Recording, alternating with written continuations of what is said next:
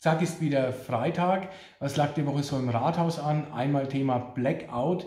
Was passiert, wenn wir einen länger dauernden Stromausfall haben? Hier wollen wir vorbereitet sein. Wir haben schon Schnittstellen, zum Beispiel im Volkacher Feuerwehrhaus oder auch im Rathaus oder Bauhof für Notstromaggregate. Da werden wir jetzt mal konzeptionell tätig und wollen uns auch noch ein Notstromaggregat zusätzlich beschaffen. Dann DSL Glasfaser, ganz wichtig für die noch unterversorgten Stadtteile. In der ersten Stadtratssitzung in, nach der Sommerpause gibt es weitere Informationen. Das hat uns die Woche auch beschäftigt. Dann Grundsatzbeschluss Freiflächen Photovoltaik. Wir machen ein Kataster. Da haben wir das die Woche auch für die nächste Stadtratssitzung vorbereitet für mehr Freiflächen Photovoltaik in der Gemarkung Volkach. Thema Freibad beschäftigt uns ständig.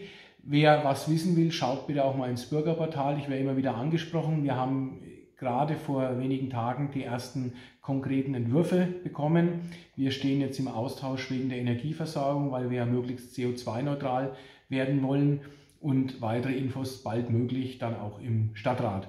Und ihr seht, äh, ich bin gerade noch in Amt und Würden, was auch immer wieder dazu gehört.